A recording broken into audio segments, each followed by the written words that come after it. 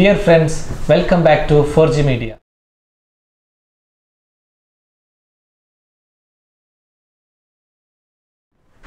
ಬೆಳಗ್ಗೆ ಮೂರು ಮೂವತ್ತರ ನಸುಕಿನ ಮುಂಜಾನೆ.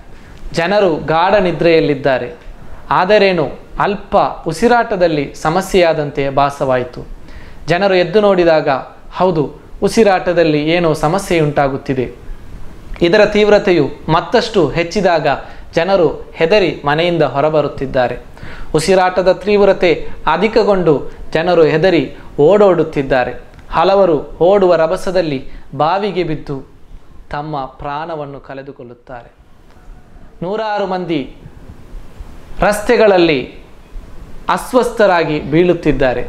ಅದೇ, ಮೊನ್ನೆ ನಡೆದಂತಹ ವಿಶಾಖಪಟ್ಟಣದ ವಿಷಾಣಲೆ ದುರಂತವಾಗಿದೆ ನಾವಿಲ್ಲಿ ಹೇಳುತ್ತಾ ಇರುವುದು. ಆಂಧ್ರ ಪ್ರದೇಶದ ವಿಶಾಖಪಟ್ಟಣದಲ್ಲಿರುವಂತಹ L G polymer India limited ಕಂಪನಿಯಿಂದ ಹೊರಬಂದಂತಹ ಒಂದು ವಿಷಾನಿಲದಂದಾಗಿತ್ತು ಈ ದುರಂತ ಸಂಭವಿಸಿದ್ದು. ನೂರಾರು ಜೀವಗಳನ್ನು ಅಸ್ವಸ್ಥಗೊಳಿಸಿದಂತಹ ಈ ವಿಶಾಖಪಟ್ಟಣ ದುರಂತವು ಅಷ್ಟೇನು ನಮಗೆ ಪ್ರಚಾರವಾದದ್ದು ಕಂಡುಬರುತ್ತಿಲ್ಲ.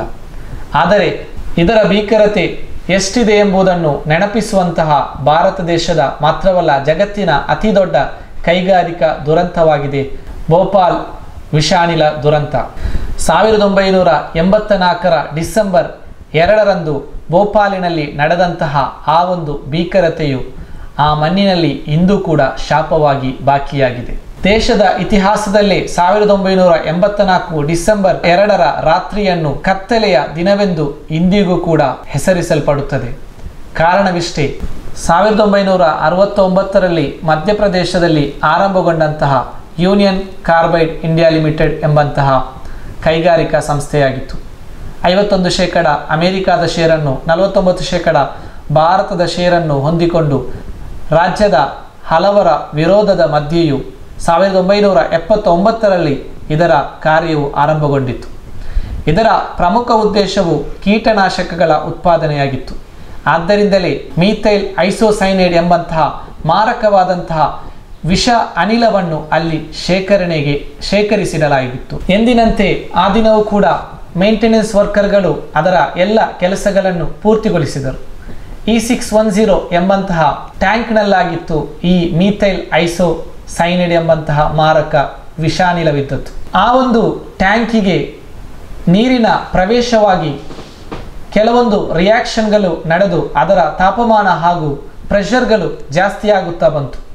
ಇದರ ಉತ್ಪತ್ತಿಯು, ಇದರ ರಿಯಾಕ್ಷನ್ಗಳು ಅತಿ ಹೆಚ್ಚಾದಂತಹ ಸನ್ನಿವೇಶದಲ್ಲಿ ಅದನ್ನು ಕಂಟ್ರೋಲ್ ಮಾಡಲು ಸಾಧ್ಯವಾಗದಂತಹ ಸನ್ನಿವೇಶದಲ್ಲಿ ಆ ಭೀಕರ ದುರಂತ ನಡೆದೇ ಬಿಟ್ಟಿತು. ಅದರ ತಾಪಮಾನವನ್ನು ನಿಯಂತ್ರಿಸಲು ಕೂಲಿಂಗ್ ಪ್ರಕ್ರಿಯೆಯನ್ನು ಅದೇ ರೀತಿ ಆ ಒಂದು ವಿಷಾನಿಲವನ್ನು ಡೈಲ್ಯೂಟ್ ಮಾಡಲು ಹಲವು ರೀತಿಯಲ್ಲಿ ಶ್ರಮಿಸಿದರೂ ಕೂಡ ಅದು ಸಾಧ್ಯವಾಗಲಿಲ್ಲ. ಅದರ ವಿಷ ಅನಿಲವು ಆ ಊರಿನ ಇಡೀ ವ್ಯಾಪ್ತಿಯನ್ನು ಪ್ರವೇಶಿಸಿತು. ರಾತ್ರಿ ಎರಡು ಗಂಟೆ ಜನರು ನಿದ್ರೆಯಲ್ಲಿದ್ದರು. ಆದರೆ ಮತ್ತೊಮ್ಮೆ ಆ ಒಂದು ಉಸಿರಾಟದ ಸಮಸ್ಯೆ ಉಂಟಾದಾಗ ಜನರು ಓಡೋಡಿ ಹೊರಬಂದರು. ಏನಾಗಿದೆ ಸಮಸ್ಯೆ ಎಂದು ಜನರು ಹೊರಬಂದು ಕಂಡುಕೊಳ್ಳುವುದಕ್ಕಿಂತಲೂ ಮುಂಚೆಯೇ ಆ ಕ್ಷಣದಲ್ಲಿಯೇ ಮೂರು ಸಾವಿರ ಜೀವಗಳ ಮಾರಣ ಹೋಮವಾಗಿತ್ತು. ಆ ವ್ಯಾಪ್ತಿಯಲ್ಲಿದ್ದಂತಹ ಸಾವಿರಾರು ಜನರು ಅದರಿಂದ ತುತ್ತಾಗಿ ಉಸಿರಾಟದ ಸಮಸ್ಯೆಯಿಂದ ಬಳಲಲು ಆರಂಭಿಸಿದರು.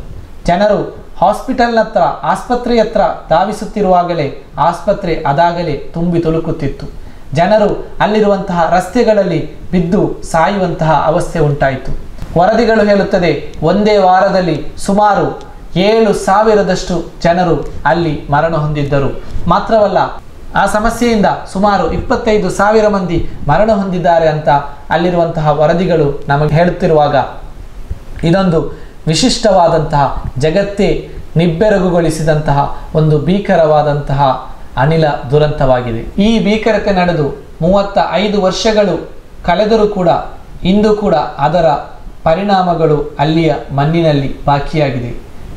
ಜನಿಸುತ್ತಿರುವಂತಹ ಪುಟ್ಟ ಮಕ್ಕಳು ಕೂಡ ಹಲವಾರು ಅಂಗವೈಕಲ್ಯ ಸಮಸ್ಯೆಗಳಿಂದ ಬಳಲುತ್ತಿದ್ದಾರೆ. ನಮಗೆ ಗೊತ್ತಿರಬಹುದು, ಎರಡನೆಯ ಮಹಾಯುದ್ಧದ ಸಂದರ್ಭದಲ್ಲಿ ಅಮೆರಿಕಾವು ಹಿರೋಶಿಮಾ ಮತ್ತು ನಾಗಸಾಕಿಗೆ ದಾಳಿ ಮಾಡಿದಂತಹ ಸನ್ನಿವೇಶದಲ್ಲಿ ಇಂದಿಗೂ ಕೂಡ ಅಲ್ಲಿಯ ಆ ಒಂದು ಭೀಕರತೆ, ಅಲ್ಲಿಯ ಅಂಗವೈಕಲ್ಯತೆ ನಮಗೆ ಈಗಲೂ ಕೂಡ ಎದ್ದು ಕಾಣುತ್ತಿದೆ. ಅದೇ ರೀತಿ ಈ ಭೋಪಾಲ್ ವಿಷಾನಿಲ ದುರಂತದ ಸಮಸ್ಯೆ ಇಂದು ಕೂಡ ಆ ಮಣ್ಣಿನಲ್ಲಿ ಬಾಕಿಯಾಗಿದೆ. ಅದನ್ನು ನೆನಪಿಸುತ್ತಿದೆ ಮೊನ್ನೆ ವಿಶಾಖಪಟ್ಟಣದಲ್ಲಿ ನಡೆದಿರುವಂತಹ ಅನಿಲ ದುರಂತಗಳು. ಇಂತಹ ಅನಿಲ ದುರಂತಗಳು ಜಗತ್ತಿನಲ್ಲಿ ಹಲವಾರು ಸಾವು ನೋವುಗಳನ್ನು ಉಂಟು ಮಾಡಿರುವಾಗ ಇಂತಹ ಕೈಗಾರಿಕೆಗಳಿಂದ ನಾವು ಎಚ್ಚೆತ್ತುಕೊಳ್ಳಬೇಕಾದಂತಹ ಸಂದರ್ಭವಾಗಿದೆ ಇದು. ನಾವು ಅನಿಲ ದುರಂತದಲ್ಲಿ ಮರಣ ಹೊಂದಿದವರ ಬಗ್ಗೆ ಮಾತ್ರ ಹೇಳುತ್ತೇವೆ. ಆದರೆ ಆ ಅನಿಲ ದುರಂತದಲ್ಲಿ ಜೀವಿಸಿ ಅನುಭವಿಸಿದಂತಹ ಎಷ್ಟೋ ಜೀವಗಳ ಆ ನೊಂದ ವೇದನೆಗಳು ಇನ್ನೂ ಕೂಡ ನಾವು ಅರ್ಥ ಮಾಡದಂತಿದೆ.